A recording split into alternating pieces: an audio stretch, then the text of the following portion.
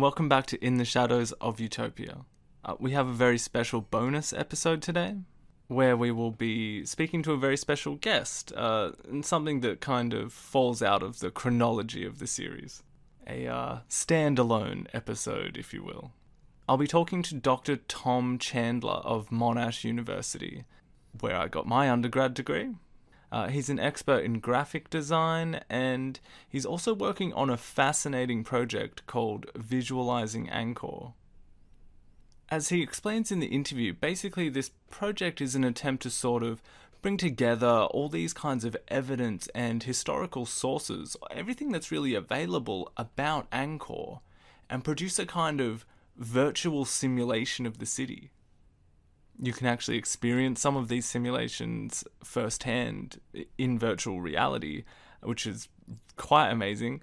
Uh, I, anyway, I'll let him explain the project more as we, we had a really good and, and interesting conversation uh, about his journey toward the project, the interesting opportunities that this kind of simulation uh, has for historians studying this period.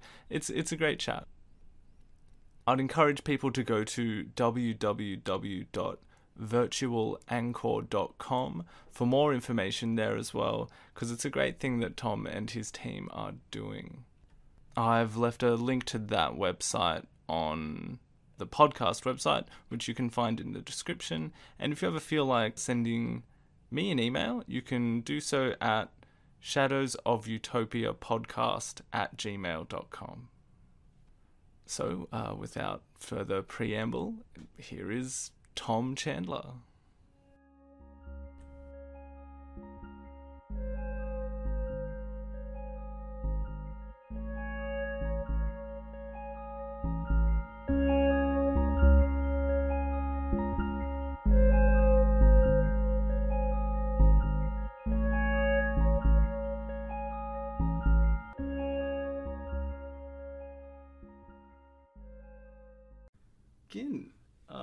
Sitting here with Tom Chandler, um, the first guest on In the Shadows of Utopia. And while I've given him a little introduction before the episode started, why don't you just start off, Tom? First of all, how are you today? I'm great, thanks, Lockie. Yeah, That's good to talk to you. Brilliant. yeah, in my studio office today. yeah, yeah, it's really nice. I like what you've done with the place. Um, so yeah, my name's Tom Chandler. I'm a senior lecturer at Monash University. I'm in the um, faculty of IT, and I teach 3D animation and um, I guess game design. Um, but way back, I have a undergraduate in archaeology. Brilliant. And you're working on uh, simulations of Angkor. I know that's not quite the, the scope Yeah. of what you're doing there, but can you briefly tell me what are you doing with what the Angkor project? Okay, yeah. So it's it's called the yeah we call I call it the Visualizing Angkor project. I guess it's been going for about ten years.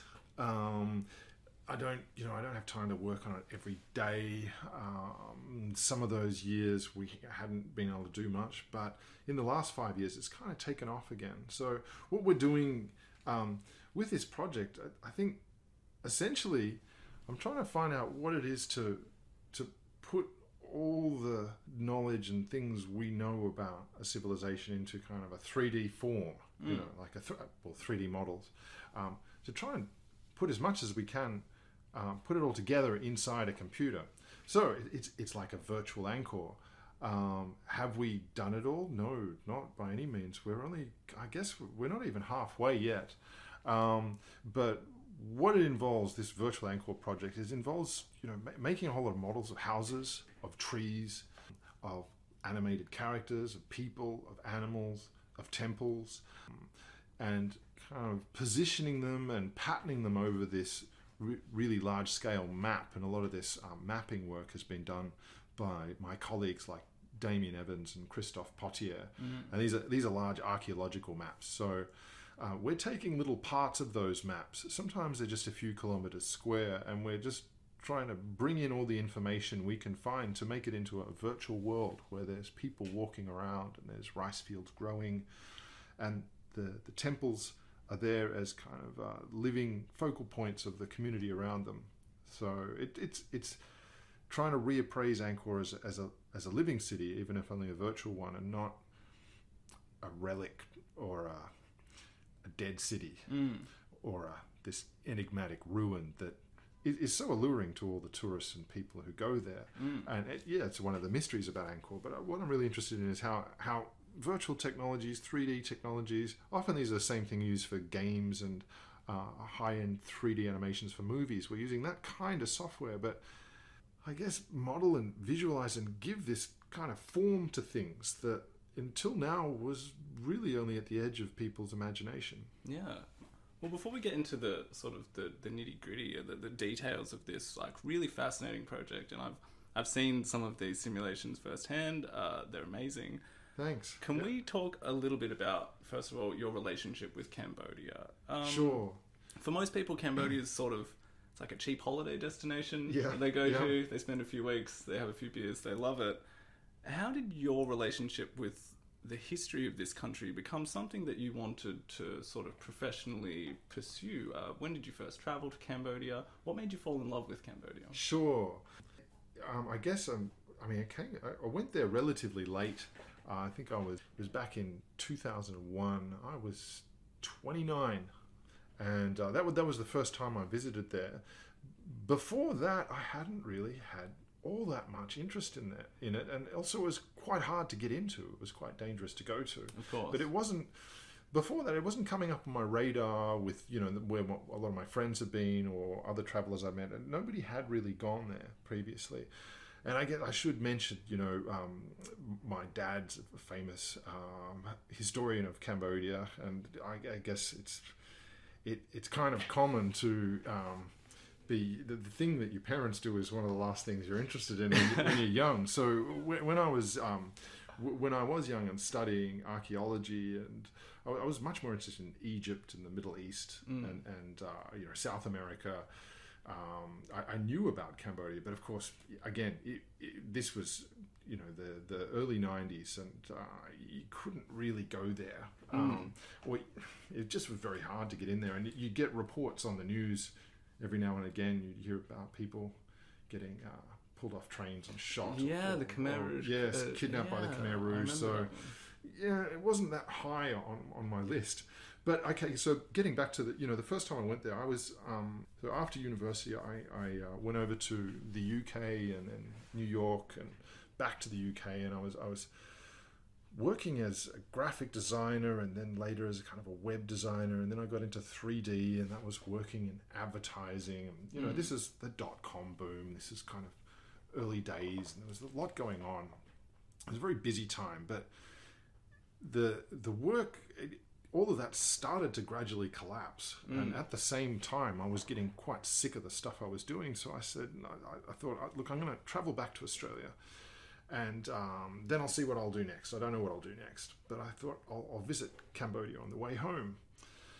And uh, my dad gave me a uh, this uh, list of people to contact there. Like about 15 or 20 people that he knew, all these phone numbers that I could kind of call up and um, see. So I had I had some contacts there, and they were kind of a way to um, engage with the country on a, on a deeper level than most tourists did. But so I, I went there in yeah 2001. It was still um, it was very different to how it is today. It was it was there wasn't many cars around Yeah. a lot of motorbikes, still a lot of cyclos, still a lot of ox carts. Um, it Phnom Penh had no skyscrapers. It was a it was a very different town, very quiet town, and I ended up staying there for six or seven months. I really just um, I got In Phnom Penh, or did you in you? Phnom Penh. yeah. I went up to Siem Reap. I went around to Battambang. Yep. A lot of the time in Phnom Penh, um, and you, you could um, you could kind of rent uh, one of these motorbikes quite cheaply, and just you could just go anywhere. And Yep. then that's what I was doing. Is often just taking this um, pretty crummy motorbike that I was always worried it'd break down. But I was I was traveling in between the towns and around long long trips on very dusty roads driving you know very slowly because I'm, I'm accident prone Mm. but I survived um, The, I imagine the roads wouldn't have been. They're not that great in some parts of no Cambodia they were terrible Yeah. then yeah they were they were just they were like dunes yeah I, yeah all, even the main roads uh, if you were going on a bus or a van it was just uh, is bone jarring Mm. yeah so I mean getting around was hard but the, the people were wonderful and I kind of, uh, you know, very soon became fascinated with Angkor and all the, um, not just the temples around Siem Reap, but some of the, the ones you can find down in the south in Phnom Da and, you know, out to Battambang and over to Stung Treng and all those places. So I, I got around it as much as I could. I didn't see everything. I think it was five or six months I, I of came back to Australia and um, I didn't really know what I was doing next. So I thought I'd enroll in a master's by research. I'll do something to do with animation, mm-hmm. maybe 3D animation. It was a, it was about a year later when I thought, well, I'm doing something 3D in animation. I'm really fascinated with ancient cultures and, and archaeology. Maybe I'll do something kind of 3D visualization for archaeology. And I was kind of working on that for a while. In the meantime, I was going back to Cambodia and Angkor uh, every year for, for a few weeks, for a month, as much time as I could get. Um, and I met a lot of Australian archaeologists who were then students, but uh, now a lot of my colleagues who are starting to work on. Um, they were working uh, with out of Sydney University on the Greater Angkor project. Is that where you first met Damien Evans? Yes, Oh, yeah, okay. that's it. Um, so I, it seems like it would have been obvious, but it, it wasn't obvious to me at the time. But I think it was like a couple of years where it all just clicked and thought, oh, I know what I'll do. It'll be some kind of 3D visualization of Angkor. So that's how this project sort of and started. it, it took me some years to come around to that. I Yeah. mean, it was it was right in front of me, but I, I was I was pursuing all these different angles. So I enrolled in a PhD at Monash. Yeah, we I tried out various ways of, of what it what it is to to uh, to I guess use 3D animation, use 3D models to Mm. try and tease out uncertainties in the archaeological record, to to try and put information together and how seeing it in a visual form um, with you know using many streams of information coming from historical texts and coming from um, you know historical accounts and um, from archaeological accounts what visualization trying to articulate what, what visualization can bring to I guess the the investigation the exploration and the the study of Angkor that sort of leads me to to my next question. Uh, what would you say the overall goals of this virtual Angkor project are? Sure. Um, again, it, yeah, it's, it's hard to say that there are uh, really defined goals because it's kind of a, a project that rolls on and on. And uh, I, You said you've been doing this for ten. It's it- ten. it's about it's a 10 10 years, years, yes. uh, N- 10 not every day, of course. Just Yeah. I, but I, I think I'm, I'm um, if anything, I'm only halfway. Um, I think the overall goal is to really, I guess, see see Angkor as a living city, even if it's and this this is it's a virtual one, and that, Mm. that's that's a way to really to see it, to apprehend it. You, and this is this is very. I, I say that there's there's a lot of um, you know, archaeological and historical and indeed scientific information that goes into this, but I wouldn't say that it's a thoroughly objective project. It's it's it, there's admittedly it is very subjective. It's it's very bound up by the technologies of the time. I think Mm. you know where we can only so um, when when we say what it is to see the past, we're we're only seeing um, a collection of, of facts that we know put Mm. together and packaged in a new way. Where it's a new way of looking at what we know about the past. yeah. I wouldn't ever go so far as to say I'm, I'm you know, it, it's virtual time travel because uh, the, the past is, as the cliche goes, it's a, it's a different country. They do Yeah. things differently there, and to see Angkor as a living city is is is really something new. And what is living? You know, in, in this sense, animation in by definition animate uh, to animate means to, to make alive so how how things are moving how people are moving um, I guess looking at Angkor as a city as a living city you're really talking about a very green city as well Mm. and that that's another concept that's very interesting talking to colleagues our notions of, of what a city of the past is and I guess when we think of you know we, we think of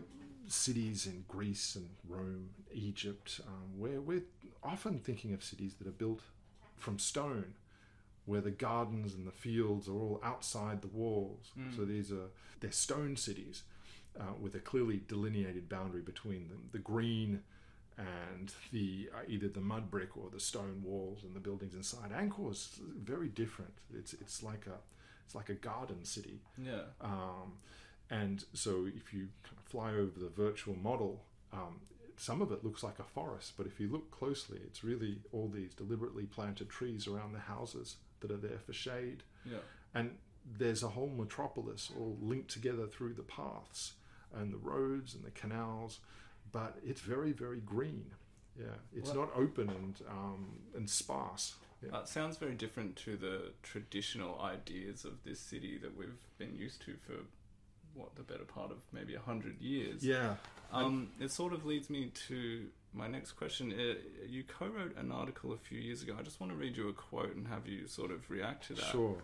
So you say, uh, at Angkor, where the landscape between the temples was previously rendered merely as jungle or white voids on the printed page, we can begin to address archaeological uncertainty with shifting patterns of wooden buildings, trees, settlements, and village shrines. And finally, in this space of interchangeable elements, moving figures, and simulated sound, we can begin to explore the wider potentials of what a historical 3D computer model might offer to scholarship in the digital age. So, what do you think the advantages are of creating these spaces for the modern historian investigating these periods? Sure, um, and thanks, thanks for rereading my. Uh, that sounds very verbose to you now that was fed back to me, but I, I, I do, I do remember what I was trying to get out there. Um, I look, I, I guess is um, it, some of my colleagues have, have often, you know, in, in years past at at uh, conferences. it's One of the terms that's often introduced is the to change the, the what was previously the temple-centric approach of Angkor, which means um, early scholarship and uh, especially um, the first French epigraphers and uh, uh, translators and uh, architects and historians who, and archaeologists who went in there. They're really really concerned with the temples and um, what um, what they can glean from the inscriptions on the temples and how the uh, how they could clear away the vegetation from the temples and whose temples they were and how the you know to what to which god and to which king the temples were dedicated or built by. This was all part of discovering this lost, lost That's right. civilization, Yes. wasn't it? Yeah. Yes, and I think I mean the the, the fascination these you know the temples are, the, are, are really um, extremely important for Angkor. You, you can't deny that, and that's what everyone comes to see. That's that's really again what we call this religious skeleton of the city. Um, so these temple, I guess, if we think of these temples, and especially thinking about village shrines, which of which there were there's hundreds all over the uh, the Angkor plain and these have been revealed um, by extensive mapping by, by my, my colleagues like Damien Evans and Christophe Pottier. Especially when we think about village shrines or, or the temples, really what you're looking at is these focal points for a wider community. That, That's what you're looking at. The remnants of the, this central, uh, the, these stone structures that have survived were the focal points for a much larger community that all dwelled in wooden houses, bamboo and thatch constructions. And this is the perishable, green, living city. Angkor was a wooden city with stone temples. So stone temples and brick temples. These were reserved for the gods. You know, as everyone knows, even the um, even the palace the king lived in was built of wood, even though it had stone walls around it. It was a wooden palace. So everything that's that's wooden at Angkor disappears and completely disappears. There's um, you're very lucky to find just small fragments or beams of wood in some of the temples. They're very very rare. They do exist, but it's it's nothing really preserves. None of this wood really preserves in the in the in the ground. So. Getting back to this, you know, what is it to, to visually? So, if you you have the site of a village shrine, and this might be reduced to a pile of bricks, it might have been totally pulverized by fig trees and long abandoned you'd imagine the village shrine is kind of like if we're thinking of you know comparing it with medieval Europe, these village shrines are like the the little village chapels Yeah. in Europe As opposed period. to like a cathedral. or- Exactly, or uh, the you know the a, a quite substantial church in, in a large town. So yeah, that, that's a good comparison with the with the um, the temples. So around the if you've got the remains of a village shrine, you've perhaps some idea of perhaps the size of the community that was around it. How many you know roughly how many people it took to sustain this village shrine, that was the focal point of the of that community's uh, religious activities for their festivals. Um, and you know this village shrine is linked to another village shrine not f- far away, and there's a neighborhood of them, and they're linked to a larger temple, and that that becomes kind of this anchor point, the, the little stone remains where you can start to reimagine the communities around Mm. them. So it's not Yeah. just the this. When you go to Angkor today, you've got you know Angkor Wat, and then a few kilometers of motor motorcycle away, you've got uh, Ta Prohm or Yeah, that's it. Yeah, Angkor Thom. So you're you're giving us everything in between these spaces, which That's for right. a long time mm, d- did no one know what were there, or the, the, there was no hardly anyone, hardly anyone knew about them. Mhm. Um, I mean, certainly uh, some of the archaeologists knew about them, but they didn't have comprehensive maps. Yep. Of, uh, they, they couldn't relate all these small shrines together um, until fairly recently. So um, this is this is some of the work that um, the University of Sydney and the Greater Angkor project kind of revealed gradually Is this huge metropolis. The, the size of Angkor was incredible. It was- It's a, a mega city. yeah, in- that's in right. sort of modern yeah, they often. I mean, it's often said that it's about the size of modern Los Angeles, Yeah. but it, it's not. It wasn't. It was the at the at its height. It was the biggest city in the world, but it was not the densest. There were other cities in China with many more people in them. okay. They were just much more compact. I see. So, but it certainly was the biggest in, in kind of aerial extent at Yeah. the time. So you've got when we talk about all these village shrines, they're part of that city. Yeah. It, it's kind of it's pushing the analogy so, too far to say that they were suburbs, but um, what people when they go to Angkor, when they're visiting Angkor, they're really looking at the urban core. Mm. Yeah, so the, the CBD. Yeah. you know, for one of a better Yeah. um, comparison, but and there's all the- skyscrapers that still remain. that's kind of it. And then Okay. there, then there's all the, the suburbs all around that, and other temples even further out. So, and getting back to addressing that that quote that you you read to me, I think so. You know, if we you can take this uh, ruin of a village shrine, and if you roughly know the date of it, you could uh, start to look at how you could swap in models because there's so much uncertainty when you only have a pile of bricks. Exactly what did the shrine look like? Well, it could look like a number of designs actually, Mhm. but it's been well established. There's kind of an um, there's an art historical uh, progression and kind of relationship between certain styles of architecture and art at, at Angkor. This is um, that you know, this is well known. So we early on we were experimenting with if we have a- site of a village shrine where there's just a ruin there, well, it could have been a number of different designs, and we had this kind of system where you could swap in one of 20 or 30 different variations Yeah. Right. to take that place. Yeah. And then where did the on trees. the fly as well. Just you don't That's it, re- redo your thesis Yeah. there. You can just That's it, and well, that's that's one of the things about this this virtual world. It's kind of it's very dynamic because there's so much uncertainty. So if you if you just if you have it looking just a particular way, then there's so much of it that is speculative or wrong. Mm. But you can swap in different models and rearrange models to try and tease out different hypotheses and, Yep. and really to, to sit down with scholars and kind of go through things. What if it was like this? What if it was like that? Mm. Perhaps it was like this. For instance, you've shown me um, uh, Angkor Wat in, in different color schemes. Uh, That's different right. Materials. yep. Different. Yeah. Yep. It's fascinating. And that, that, that latest uh, model we made of Angkor Wat over the last, I guess, four years here, here at Monash was um, what that model would do is it, it would kind of ran through a series of different variations because all the art historians and many of the archaeologists and um, some of the historians we talked to, there was a lot of disagreement about yeah. uh, exactly what colours it could have been or whether it was coloured at all. There was, Mm. there was a lot of um, a lot of people said they just didn't know, Mm. and there was you know, particularly for things like all the vegetation when we mentioned the green city, you don't know exactly where the trees were. It's Yeah. very hard to determine. You can know from archaeological pollen cores, um, which uh, have been extracted, what kind of trees were in the area from the pollen they uh, that is left over in some of the moats or the ponds that, that they extract.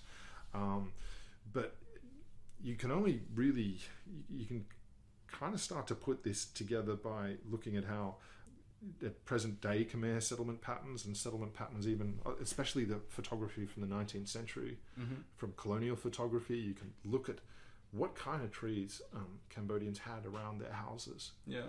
and whether these trees were native to Southeast Asia. Some of them are brought in after the Spanish and Portuguese brought all, all these uh, fruits over from South America. Now they wouldn't have been at Angkor, so you Mm. have to have to rule those out, and you have to look at what species were there, how close were they to the houses, and what did the houses look like? Well, it, luckily. Um, I guess from the historical photography uh, from the uh, especially the colonial period, the houses seemed of, of the the regular people, the common people, the peasants. They seemed to be pretty similar to the ones Zhou Daguan was describing. We'll get Um, to Zhou yep. Daguan in a minute as Yep. well. But um, I guess you've you're filling in the gaps in between the temples of Angkor. But I should say that you can, using virtual reality technology, we can actually step into these gaps as well. We can see firsthand the, the gaps in between these temples. Um, I should say that uh, due to a couple of technical mishaps and uh, some dead batteries, last time we spoke, you weren't able to give me the full VR treatment of the virtual Angkor project. But in the meantime, I've, I've actually purchased my own VR headset. I've been able to spend some time with the technology, mm. and I've been blown away sort of to the extent that your mind allows itself to be immersed in these environments. In one game, I was thrown off of a building, and I did experience a certain degree of, of vertigo and, and sort of shock at being, you know, falling to my death. So while I've been enjoying these um, these games and videos, I've also been able to finally check out some of the immersive 360 degree videos from the virtual Angkor project that I, I wasn't able to see last time. They're amazing. I've, I've really enjoyed them. Uh, I've stood on the causeway uh, looking at Angkor Wat as people, uh, busy, busy little uh, animated people, uh, went about their jobs. I've sat in a marketplace. I've been to the rice paddies. I've, I've sat on a canoe going down one of the canals. For me, this is sort of a dream come true. I've, I've often loved the idea of sitting in a bubble and, and sort of traveling through the past and looking at people do these things. So thank you for that. Um, now, there's a, there was a moment I looked out at this rice paddy. It was sunny. There were clouds in the distance, a, a rumble of thunder. It was it was really quite beautiful. But what that did, uh, every time I've visited Angkor, I've been going there for since 2011. I've tried to build on my understanding of this city. I've tried to imagine what it was like as I walked around this, this skeleton we're talking about now. I've tried to fill in the gaps in my imagination. But it was not until last night that I, I sat in my living room with my VR headset on that I've actually been able to fully realize that goal. So, like we've, we've, we've sort of been talking about you filling in the body around this, this skeleton. Hmm. And this is something I think that is missing from a lot of people's experience of traveling in this this beautiful archaeological site today. And I think a, a big part of that, and you sort of mentioned it, is the details going into this simulation. I would love for you to to talk to me about um, this attention to detail. Uh, for instance, the, the sound of a woman sweeping her around her house, the the detail of the various fruits sitting in this market. How have you and your team managed to do this? Uh, yeah, so that that's I guess the answer to that is um, just time. Right? We have time on our side. All this detail just takes time. Yeah. Um, I mean, it, it's hard to 3D model all these things, especially if they're animated. But there is one, there's one saving grace here in, in 3D modeling. So, for instance, a sugar palm tree, which is emblematic of, of Cambodia today, as it was in the past. Um, that takes a couple of days to, to model in 3D accurately. Yep. And this is using photographs of, of sugar palm trees and making sure that the 3D model's not too uh, um, uh, cl- clumsy in terms of h- how it's constructed so that it's not. Um, so that you can make a lot of them and it doesn't take too much space. In other words, it's an efficient model. It's modeled efficiently. So it takes, as I said, a day or two to get it right.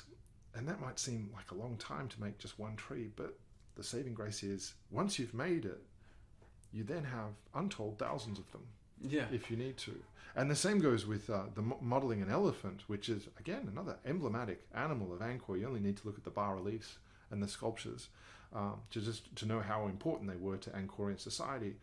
That modeling and animating an elephant, um, you know, detailing all the the um, the wrinkles in its skin, how it moves its ears, um, um, how uh, the pace of its walk as it plods down the road, uh, getting these things kind of right.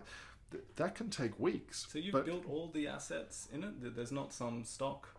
no, yeah, there's the, unfortunately not. the No, there's nowhere. We, from Age of Empires. no, there's nowhere we can really steal this stuff from. Okay. Um, and yeah, it's, it's all our own models. Now, again, with the elephant, it takes ages, but once you have one done, you have an elephant army if you need one. Uh, and one day we, we might try that. But or at, least you, you have as many elephants as you need.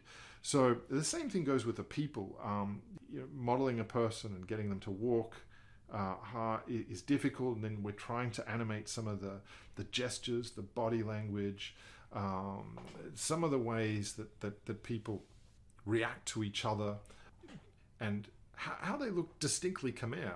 You know, these so these small animations, these small movements, they're really important because how how two Khmer people at Angkor might have conversed with each other when they were sitting down would be quite different from say how two people in Song Dynasty China might Mm. and just just the way that they'd move their hands, the, some of some of the things they do.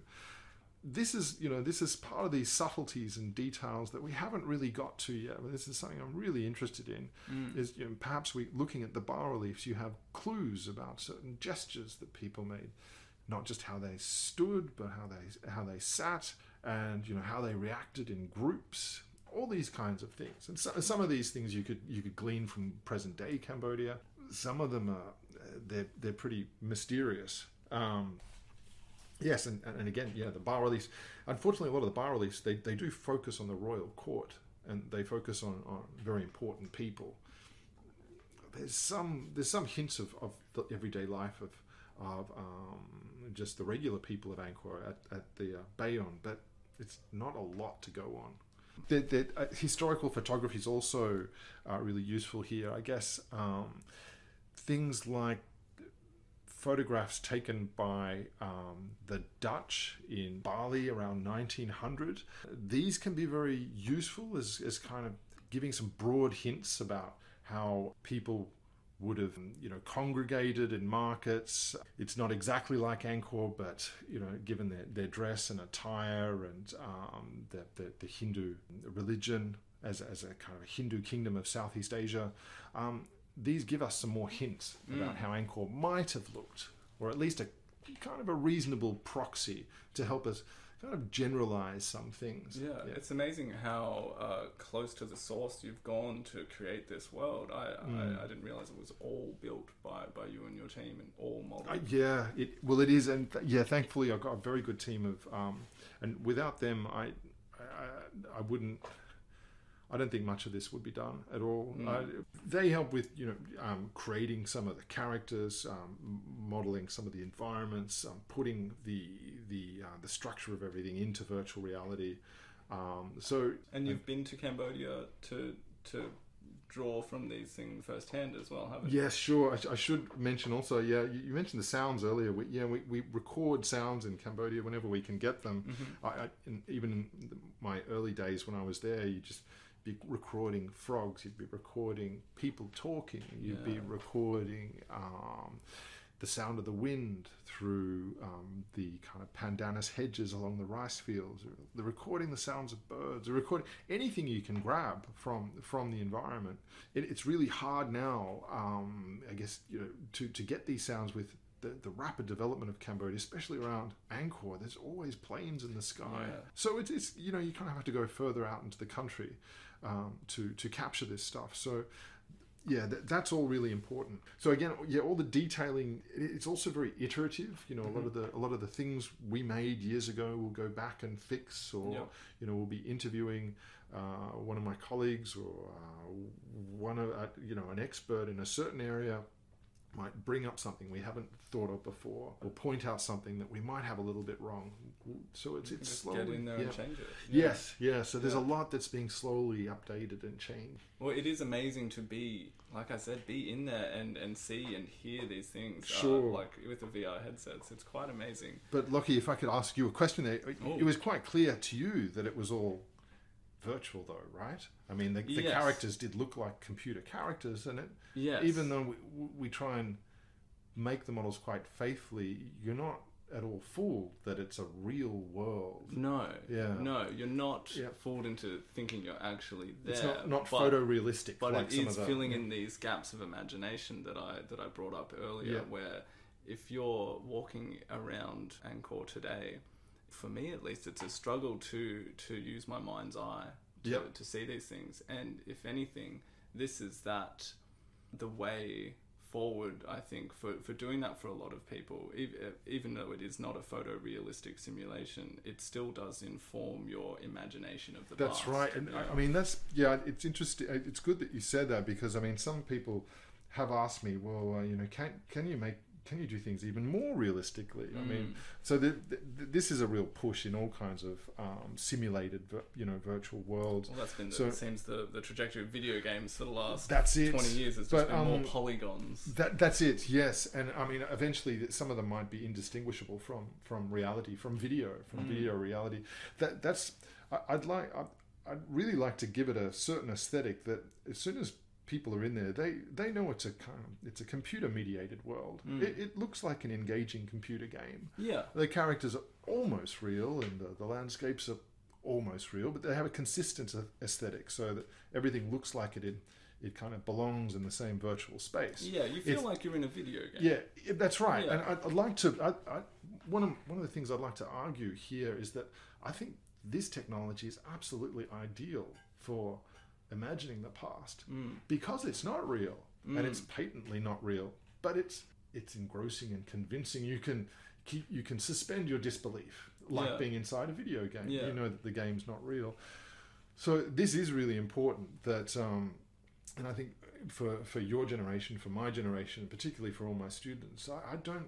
There's there's a there's a very developed understanding about these these virtual worlds as they're essentially simulations. Everyone's aware of this. Yeah. So it becomes this ideal tool to try and swap in ideas and test things. And Rather than contending that this is that's right. was, Yes. This is what it looked like. Yes. You're not saying that. You're saying that given the information that we have, yes. this is the picture that we can make. Yes. And Sort of yeah. like an animating it- it- history. yes. It could. It, writing history. it could be like this. So Yeah. yeah, this is plausible given the information we, we have.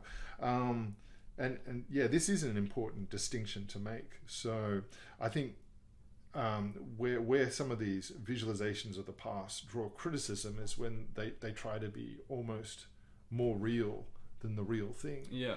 and or if they they just present um, perhaps uh, especially true if it's just one image see our, our world is a moving dynamic world um, but if it's just a, a highly detailed a single image often it's uh, a, a lot of people argue that this is this is kind of dangerous because it's it's almost announcing proclaiming that this is how it was Mm. yeah, you're making a statement on things. So uh, it's important to have a lot of wriggle room when, Yeah. when you're trying to visualize a past about which there are a lot of uncertainties. Yeah. Well, speaking of uncertainties and, and the sources of of history that you've used to create these simulations, we mentioned him before, but one of the most uh, important people we have to inform our picture of uh, Angkor is uh, Zhou Daguan. Yeah, yeah, Now, depending on when I release this episode, either before or after the Angkor Part 2, our listeners may not be aware of who this guy was and why he is so important to the historical study of this period. So let's assume they don't.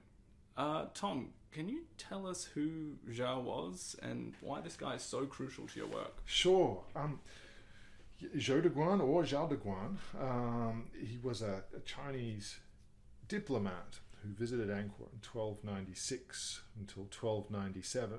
So what's Angkor sort of looking like at, at in, in that, that period? Well, it's not it's not obviously in decline. Okay. Although Zhou Daguan mentions there are constant wars with the Siamese that Mhm. he hears about, and that much of the countryside is in ruin. But when Zhou Daguan went there, it was very much a thriving metropolis. Mm-hmm. Um, uh, he he um, evokes the, the phrase that he hears um, many Chinese uh, sailors have used that they call Cambodia rich and noble, and that is it seems to be extremely rich. That there's gold everywhere. There's uh, um, uh, Guan. He talks a lot about the um, the officials he sees, um, their adornments, the the goods that are at Angkor. He's very impressed with the size and scale of the temples. Quite likely, he was staying not far from the royal palace inside Angkor Thom, and Mhm. probably in because he was a Chinese envoy or diplomat, he was staying with a, a Chinese community there Okay. uh, you know, and possibly possibly hosted by uh, in, in, by Khmer household. But um, so, what what is most valuable about his account is the only eyewitness account of Angkor. There, oh, I there should is- mention yeah. that we uh, Zhou stayed in uh, Angkor for a year, about a year, and then that- he, he wrote a book about his stay. That's right. He he um so he, he stayed there for about a year and he wrote the book I think much later or people think you know when after he returned back to China he wrote his, his memoirs Mhm. uh, of what he saw there and I, it's it's um, many people believe that uh, the, the chapters we have some of which are very brief when we talk about a chapter of his memoir it might just be a paragraph it might it might only be um, a hundred words. Some are longer. Some are a couple of pages, three four pages.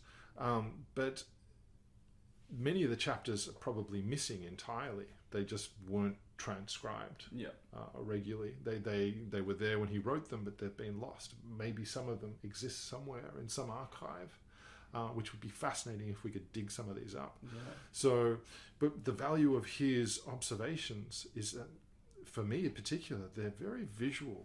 Zhao describes colors, especially. Yeah. He describes um, very small details of you know, even these these palanquins that um, people were carried around in, almost like um, they're almost like litters or like a like a hammock, kind of suspended from a pole, carried by two people with someone important sitting in the hammock.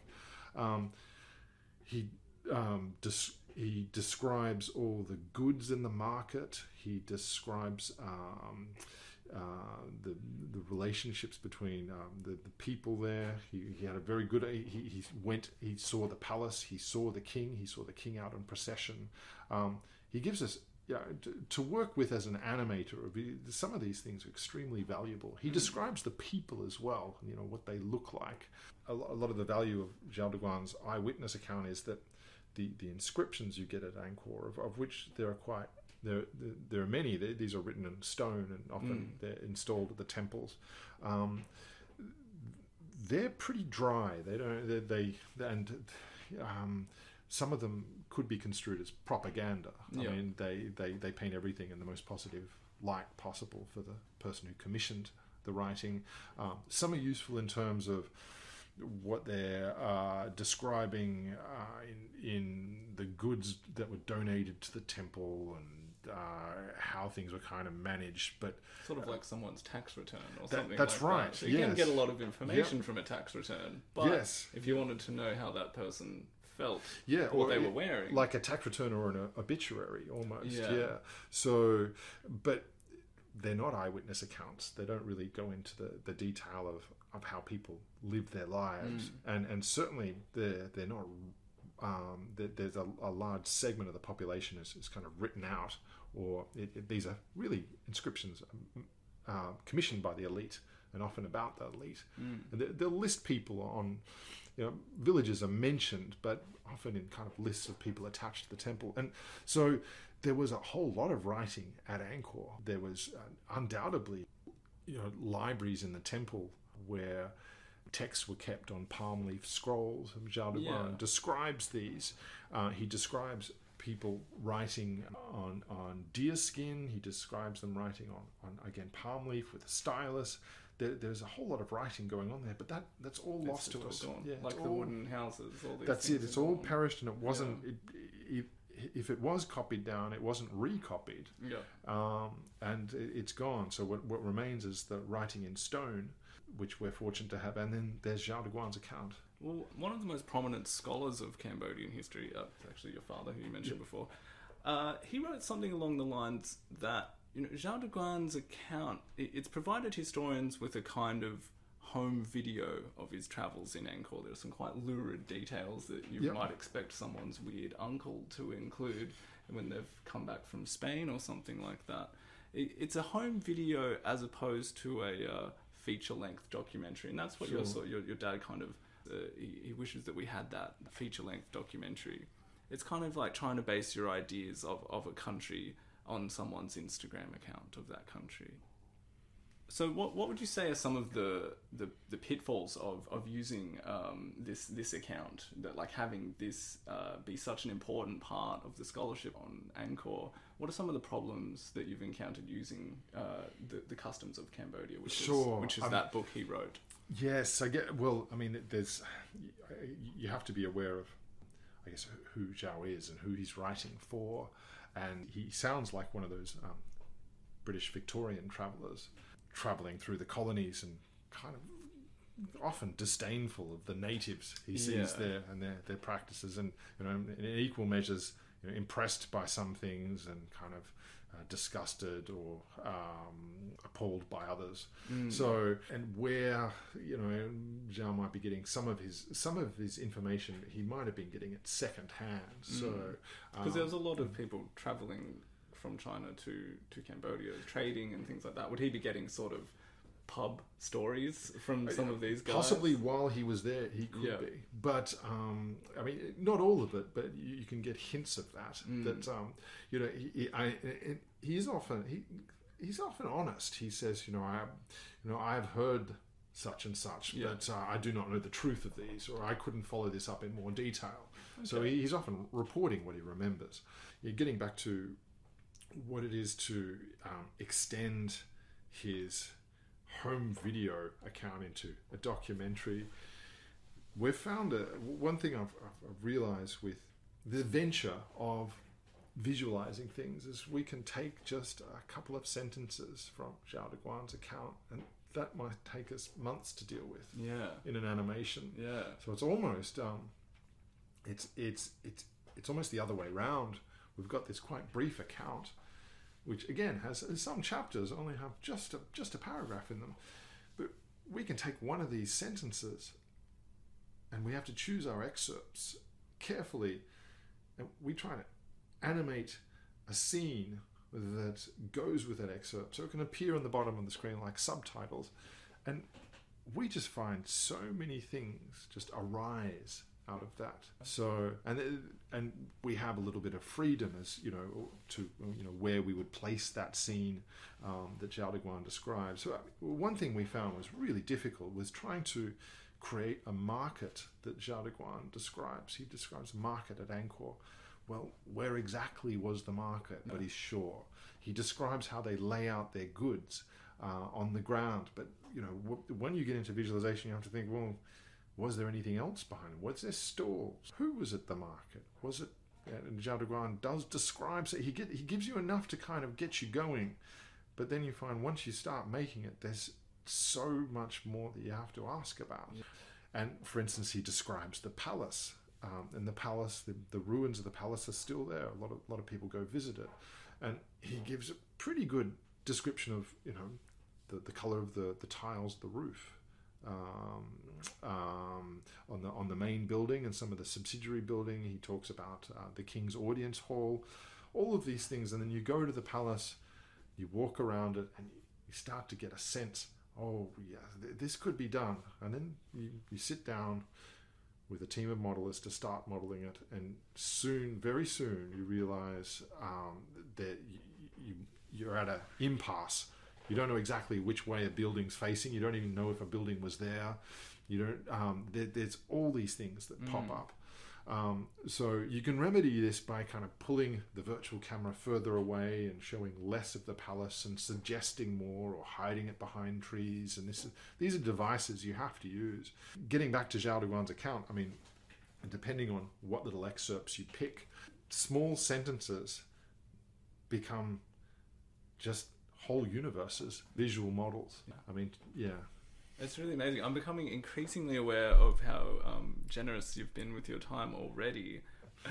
Um, Tom, it's been a real pleasure. Uh, I can't thank you enough. Um, do, is there any kind of uh, websites or, or social media that you would direct people to if they wanted to know more about the virtual Angkor Sure, the the um, the websites can be a bit uh, convoluted, um, but uh, there's the Uh, I mean the URLs can be a bit convoluted, but there's a mm. Google Arts and Culture page which will be up soon, and there's also a website I developed with my colleagues here in the history department at Monash, which is called virtualangkor.com, and that, Oh, that's really yeah, a I'll leave a teaching link to website. that Yeah. uh, website on my website as well because Thanks, I can Lockie, sort of yeah. crib off some of the, Yeah. the information you've put there because it's uh, truly fascinating Sure. and informative. And a lot of the stuff's not. I mean, a lot of the stuff still is on the university computers and hard drives as Mm. we. Then we're still testing it and refining it, so that'll come online gradually. Brilliant. Well, I'm sure people will be aware of it because it is amazing work. Thanks, um, Lockie. Yeah, all right. so, Yeah, yeah, it's yeah. been a pleasure. Really, thank you very much. Thanks.